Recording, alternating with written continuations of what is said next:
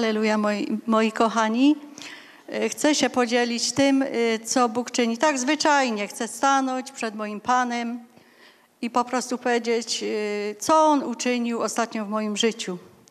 Bo On jest Panem, On jest Królem, mamy tu taką ucztę duchową. Wiecie, że już jestem ubłogosławiona tym wszystkim, co tu się dzieje, jak Duch Święty cudownie działa. Jest to wspaniałe, jestem pod wrażeniem tego, co Duch Święty czyni.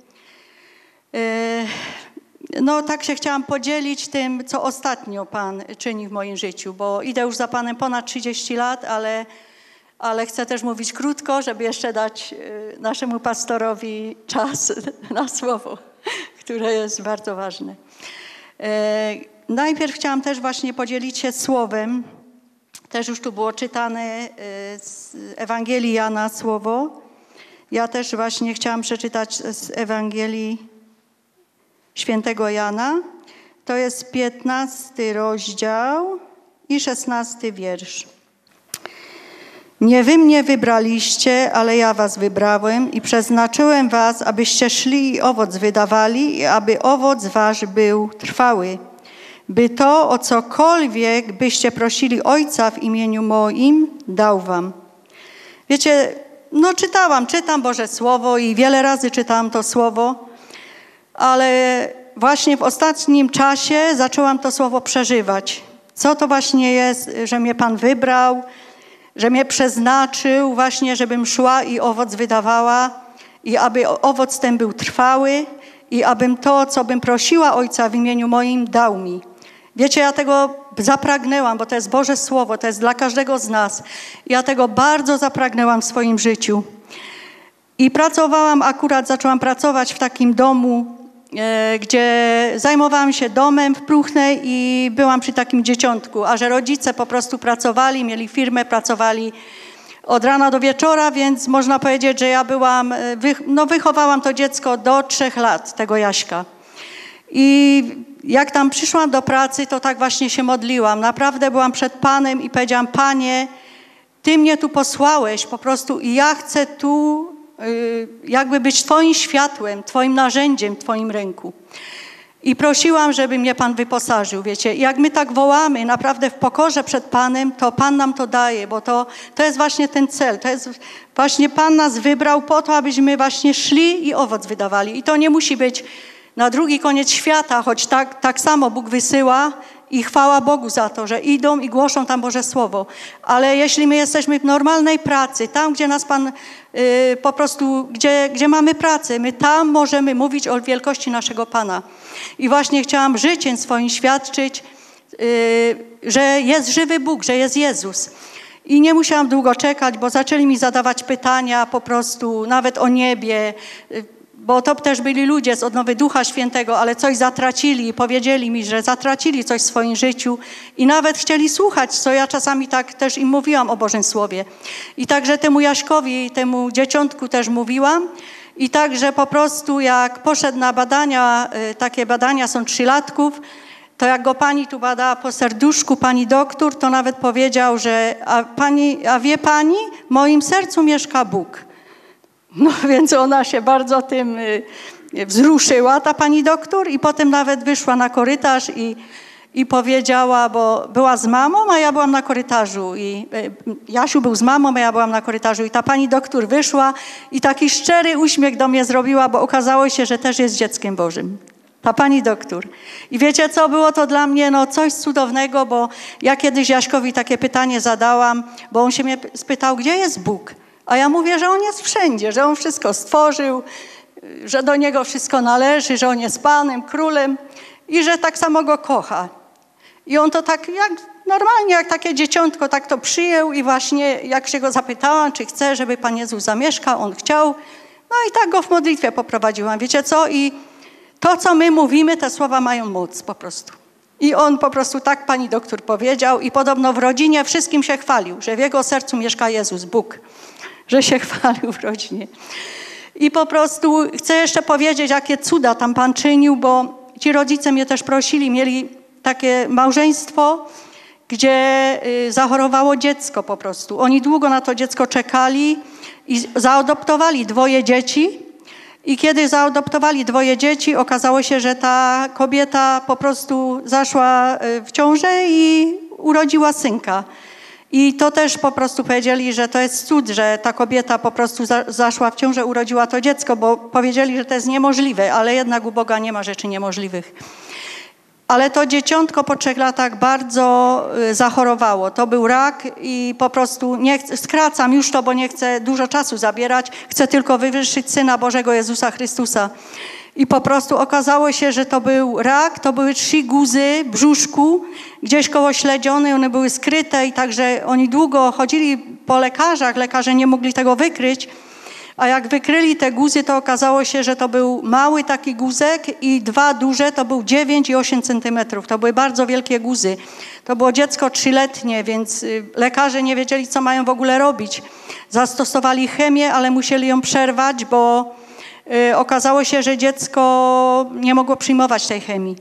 Więc ja po prostu chodzę na modlitwy i też zachęcam, drogie siostry kochane i drodzy bracia kochani, zachęcam do modlitw, bo naprawdę jest to, jest to piękne, kiedy Kościół stoi i woła do Boga, wiecie, a jest dużo próśb. Naprawdę świat potrzebuje Jezusa, świat potrzebuje Jezusa. I po prostu prosili mnie, bo wiedzieli, bo powiedziałam, że tam są u nas złoże modlitwy, że modlą się bracia, modlą się siostry. I oni mnie prosili właśnie o modlitwę za tym Ignasiem. On się Ignaś, ten chłopczyk nazywał. I ja to przekazałam. Przekazałam to Januszowi na modlitwę. Przekazałam to y, córce na modlitwie. I naprawdę, wiecie co, ja dziękuję, bo Kościół wołał, wiecie, myśmy wołali do Pana i, i po prostu okazało się, y, po jakimś czasie oni poszli na badania i okazało się, że te guzy duże zniknęły. Wiecie, tych guzów nie było. Ci lekarze po prostu, oni mówili, że to jest cud, że to jest niemożliwe. Te te, te guzów nie było, a ten mały guzek, bo oni otworzyli go, bo nie chcieli po prostu w to wierzyć, że tych guzów nie ma, tych guzów nie było. I usunęli tylko ten mały guz, bo on był na tyle mały, że dało się go usunąć. Ostatnio rozmawiałam z tą Lucynką, bo ma, mam z nimi kontakt i powiedzieli, że dziecko jest całkowicie zdrowe, że Ignaś biega, bawi się z rodzicami, że jest żywym dzieckiem, wiecie, Mówię to na chwałę mojego Pana Jezusa Chrystusa. Jestem wzruszona, bo naprawdę On jest cudowny. On jest cudowny. Po czasie dowiedziałam się od tej Lucynki. Kiedyś tak tylko mi nadmieniła, moja koleżanka umiera na raka. Ma trójkę dzieci, urodziło jej się malutkie dziecko i mówię, ona umiera, Reniu. I po prostu mnie to wzruszyło bardzo. Ja wtedy na modlitwie w czwartek powiedziałam, siostry wołajmy do Pana. On jest mocen, po prostu, żeby on jest mocen, żeby to, ta kobieta była matką, bo ona jest matką trójki dzieci, to ma malutkie dziecko nowonarodzone. Ja mówię, wołajmy. I, i wołały wszystkie siostry, wołał Kościół, wiecie, do Pana. I po prostu i ja, ja sobie o tym zapomniałam. Ja zapomniałam w ogóle o tym, i później poszła, bo dziecko, Jasiu mi skończył trzy lata i taka była umowa, że kiedy skończy trzy latka, to, to ja będę szukać innej pracy po prostu ale mam kontakt z nimi nadal, choć już pracuję gdzie indziej. I po prostu Lucynka ostatnio, jak tam byłam na odwiedziny u Jaśka, to mi powiedziała, Reniu, wyobraź sobie, że moja koleżanka jest całkowicie zdrowa, wiecie. Ja po prostu, ja tam zaczęłam tak, myśmy zaczęły obydwie tak płakać, myśmy się uściskały, myśmy tak płakały po prostu, bo wiecie, mamy Boga, który czyni cuda. Mamy potężnego, cudownego Zbawcę. On jest naprawdę wspaniałym Bogiem, wspaniałym Bogiem. Mówię to na chwałę Jezusa Chrystusa, bo nie ma innego imienia, tak jak już tu było. Tyle wspaniałych słów tu padło, wiecie, o Bogu, o, o naszym Panu. Tyle wspaniałych słów. I po prostu ja, tak, ja to tak przeżywam wszystko, bo wiecie, mamy tak wspaniałego Pana. Kiedyś się z Nim spotkamy, ten czas może już będzie, może Czuję, że ten czas się przybliża, wiecie, że, że, że niedługo staniemy przed Nim. Wiecie, ja się tak raduję, ja się raduję z tego. Ja się nie wstydzę mówić przed ludźmi, że, że idę do nieba, wiecie. Bo dzisiaj powiedzieć, no może ktoś się krępuje, jak tu powiedzieć? Ostatnio byłam na odwiedzinach w szpitalu i też tam świadczyłam, bo szłam do tego szpitala i mówię, Panie, chcę, aby Twoje imię było wywyższone w tym szpitalu. Szłam tam na odwiedziny i po prostu było tam pięć osób na sali. I, i taki y, pan starszy mówi do mnie, a wiesz co, powiem ci, fajnie mówisz, bo se nawet siadł na tym łóżku, tak mi mówi, fajnie mówisz, ale tam Stella jeszcze nikt nie przyszedł, tak wiecie, po naszemu mówi, tam Stella jeszcze nikt nie przyszedł. Wiecie co, a do mnie przemówił Duch Święty. I ja mu powiedziałam tak, wie pan co, jakbym ja już tam była, ja bym nie chciała wracać na tę ziemię bo tam, tam będą takie wspaniałe rzeczy i zaczęłam mu mówić, co będzie w niebie. Wiecie co, ten, ten, ten Pan po prostu się aż rozpromienił, mówi, to jest niemożliwe. Ja mówię, niech Pan weźmie Boże Słowo i niech Pan czyta Boże Słowo. Tam, tam będzie tak pięknie, jak ja bym tam była, ja bym już nie wracała na tę ziemię. Naprawdę, tak mu powiedziałam. I mnie to nawet rozradowało, wiecie, mnie to nawet rozradowało. Mam jeszcze więcej, że Pan mnie także w pracy wprowadził, wiecie. I byłam trzy razy za granicą. No też to była taka praca, że do mnie zadzwoniono, czy bym nie pojechała jako opiekunka, bo ja kiedyś też jeździłam jako opiekunka. Ale po prostu i tak mówiłam, Panie, gdzie mi się najpierw drzwi otworzą, tam wejdę, nie?